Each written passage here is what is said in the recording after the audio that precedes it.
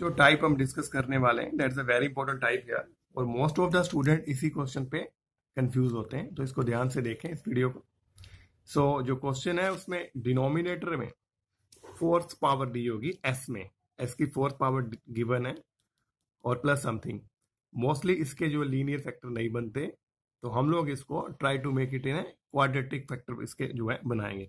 तो लेटर सी इसके quadratic factor कैसे बनेंगे। सो मोस्टली क्वेश्चन इसी फॉर्म में आएगा। एस के अपॉन एस की फोर प्लस फोर ए की फोर एस अपॉन एस की फोर प्लस फोर ए की फोर या फिर क्वेश्चन इस वे से आ सकता है। एस अपॉन एस की पावर फोर प्लस एस के plus one a into s square minus two times s के डिवाइडेड बाई एस की four plus four a four तो सिमिलरली नीचे हर एक में एस की फोर्थ पावर में फैक्टर्स गिवन है और हम लोग इसके क्वाड्रेटिक फैक्टर में चेंज करेंगे। लेट अस सी इसके क्वाड्रेटिक फैक्टर कैसे बनेंगे। तो ये मुझे एस की पावर फोर फोर ए की फोर गिवन है तो यहाँ पे एस का ए का स्केयर प्लस बी का स्केयर मैं इसको लिखता हूँ।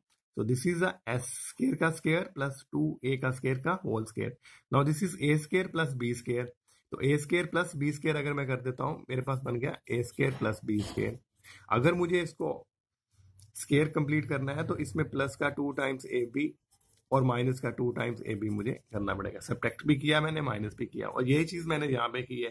तो दिस इज़ एस स्केयर का square two times a square का स्केयर तो मैंने two times two times s square into two a square मैंने ऐड किया। Minus two times s square into two a square मैंने माइनस भी किया इसमें से। नो ये जो टर्म्स है, ये स्केयर बन गया किसका? S square plus two a square का होल स्केयर और ये बाकी क्या बच गया? Two into two minus four So this becomes a minus 4 times a square s square.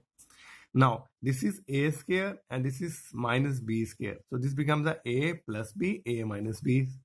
तो ये अगेन फैक्टराइज हो रहा है तो s square plus two a square as it is plus का यहाँ पे this can be written as two a s इसका होल स्केयर इस टर्म पे क्या लिख सकता हूँ मैं ये टू ए एस का whole square so this becomes a square ये पूरा ए का काम कर रहा है capital a minus b square तो ये बी का काम कर रहा है तो ये बन गया ए प्लस बी तो ये बन गया एस का square plus two a square plus two times a s similarly a minus b तो s square plus two a square minus two a तो ये इसके क्वाड्रेटिक फैक्टर बने हैं। तो जब भी क्वेश्चन में फोर्थ पावर गिवन हो तो इस वजह से आप लोग उसके क्वाड्रेटिक फैक्टर करें।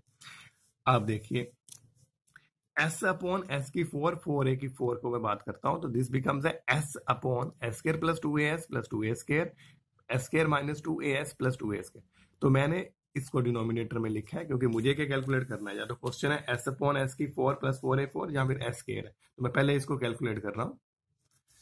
तो ये मेरे पास बन गया। अब देखो बाय आप लोग चाहे तो इसको पाँच फ्रैक्शन से भी कर सकते हैं। अब इसके आगे पाँच फ्रैक्शन कैलकुलेट करें। A s plus b divided by first factor plus c s plus d divided by second factor लेकिन हम लोग बाय इंस्पेक्शन भी इसको वेरी इजिली कैलकुलेट कर सकते हैं। तो let us see by inspection करते हैं इसको। ये देखिए, इसमें दो फैक्टर है। एक तो ये फैक्टर है, एक तो ये फैक्टर है।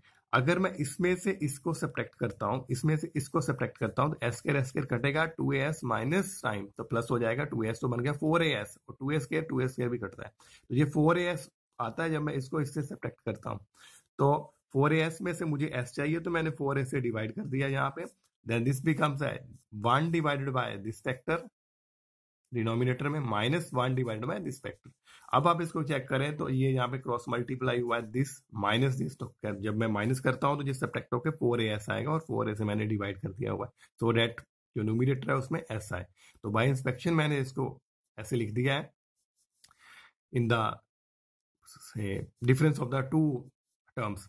अब मुझे अगर इसकी लेपलेस इनवर्स निकालनी है तो डेट मीन मुझे इन दोनों की यानी कि लेपलेस इनवर्स ऑफ़ इसकी निकालनी है। और Laplace inverse of the sum is equal sum of the Laplace inverse तो लेपलेस इनवर्स ऑफ़ इस टर्म की माइनस लेपलेस इनवर्स ऑफ़ इस टर्म की।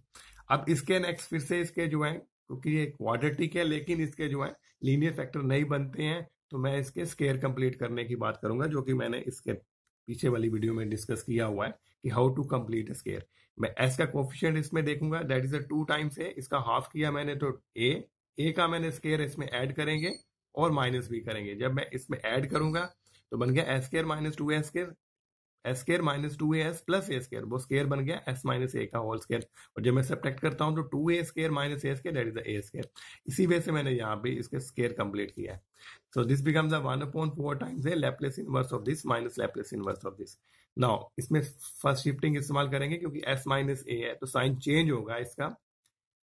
तो ए ई e की पावर एटी साइन चेंज हो गया ई की पावर एटी मल्टीप्लाई हुआ है इंटू लैपलेस इनवर्स ऑफ़ यहाँ पे s माइनस ए चेंज हुआ है तो यहाँ पे एस प्लस ए आ गया, क्योंकि एस माइनस ए है तो प्लस का भी है, क्योंकि यहाँ पे ए तो था ही नहीं।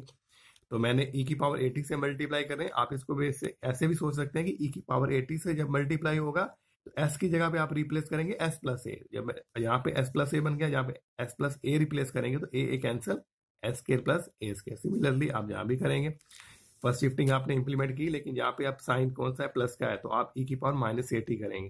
तो आप एस को किससे रिप्लेस करेंगे? एस माइनस ए उससे रिप्लेस करना है ताकि यहाँ पे एस केयर बने। तो आप एस माइनस ए से रिप्लेस करेंगे। तो एस माइनस ए ऊपर रिप्लेस हुआ, नीचे s square plus a square अब वन फोर फोर टाइम्स है ई की power at Laplace inverse of इसको भी दो फैक्टर में हम लोग चेंज कर रहे हैं। S upon s square plus a square plus a upon s square plus a square similarly यहाँ भी ये दो फैक्टर में स्प्लिट होगा।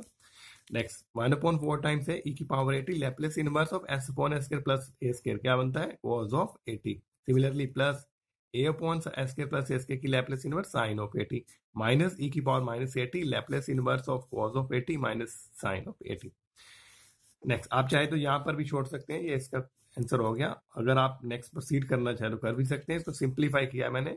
दोनों में देखिए, यहाँ पे कोस वाली टर्मों को मैंने एक साथ किया और साइन वाली टर्म को एक साथ किया। जब मैंने कोस को एक साथ किया तो दिस इज़ वन ई की पावर एटी माइनस ई की power minus at cos of at मैंने बाहर निकाला। इसमें से एक टू जो है ना, इसके नीचे रख दिया और टू टाइम्स से मैंने बाहर रखा। तो दिस बिकम द ई की पावर एटी माइनस ई की power minus at divide by two cos of at similarly for the sine at मैंने साइन वाली टर्म्स को एक साथ किया। यहाँ पे ई की power at minus minus plus e की power minus at divide by two अब ई की पावर एटी माइनस ई की power minus at upon two क्या होता है? Sine hyperbolic at. और प्लस का हो तो क्या होता है? Cos hyperbolic at. तो इस वे से ये इसका आंसर हुआ।